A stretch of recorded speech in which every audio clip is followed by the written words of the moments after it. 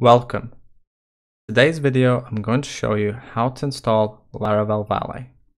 If we head over to the laravel.com site and to the Valet section and down to the installation section, you'll see that we've completed steps 1, 2 and 3.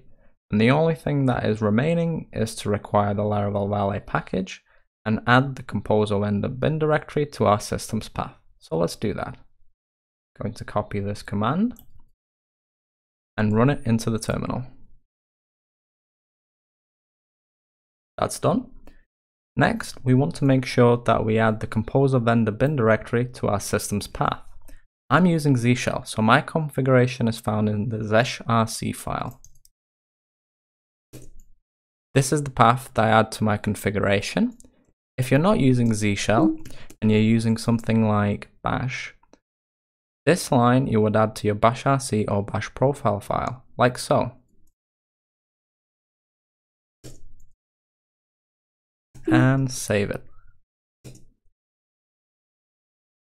After you've done that, we're ready to call the valet command.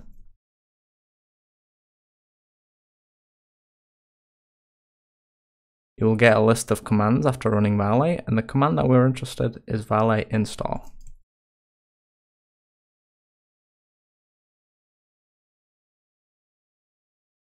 Valet has installed successfully.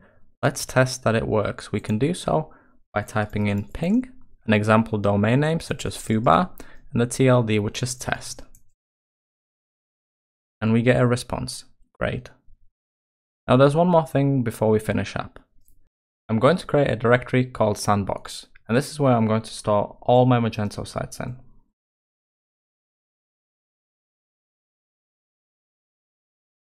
I'm going to register it with Valet by running valet park.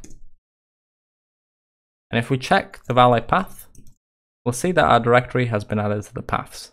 So any sites we put in here will be served and picked up by Valet. And that's it.